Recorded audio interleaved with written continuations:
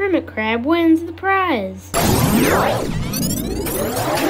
The wheel landed on 1,729 crab bucks. Wow, I used to have 1,034 crab bucks, but now I have 1,729 more. Ha ha ha, I am Evil Crab and I just stole all of your crab bucks. Oh no, have zero crab bucks left. No, you don't, because I just arrested Evil Crab and gave you your crab bucks back. Wow, thanks, Police Crab. The prize for being safe is limbs. Crab Claus is safe with zero down votes. Wow, I have two pairs of limbs. Now I look really weird. Hermit Crab and Water Crab are safe, each with one down vote. Wow, I finally got my limbs back after six or seven months. Hey, Hermit Crab, where did your crab bucks go? I put them in my house. Oh, okay. Fire Crab is also safe with three down votes. Wow, I have two pairs of limbs. Now I look really weird. Shell Crab is eliminated with 16 down votes.